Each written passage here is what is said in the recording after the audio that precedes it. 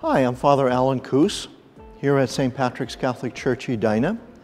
And one of the most underutilized areas here at the church is what is called a labyrinth. A labyrinth is a medieval construct in a number of cathedrals in Europe and around the world in which a person goes into a trail and walks around, prays.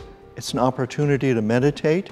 You go around these lines and then you come to the center and you come back out in the same way.